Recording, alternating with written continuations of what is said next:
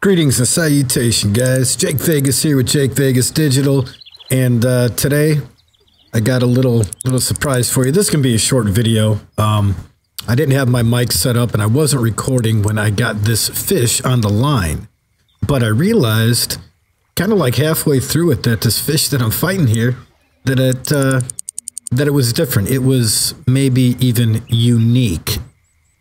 Yeah, I caught a 5.96, I think, chain uh, pickerel, unique chain pickerel out of here. And that's what I'm fighting right now on the line.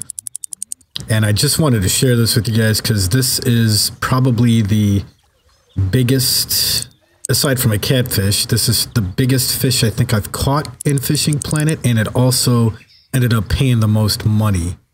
So I was muscling this guy in and I realized it was bigger than a northern and I had no I, I had no idea it was a, a, unique chain pickerel like you can see right here. I didn't know that's what it was, but uh, I kind of had a feeling that it was, so I, I decided to hit the record button. Didn't have the mic plugged in, and I caught this. I want to give a shout out to a guy that was in chat with me in this game. His name is Rickson1. We were uh, I was talking to him and he was asking for some tips. I gave him some tips on fishing. We were just BSing the entire time.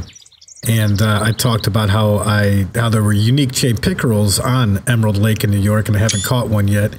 And I caught one on my very last shiner. I think I started fishing with about uh, eight shiners, caught a bunch of chain pickerel, and then finally on my very last shiner, I pulled in this 5.972 pound unique chain pickerel, $406. Just wanted to share that with you guys. Real quick video here. Hope you enjoy. Uh, if you enjoyed it, please click the like button. If you want to stay up to date on future content, please subscribe. Keep on fishing in the free world, and we will see you next time.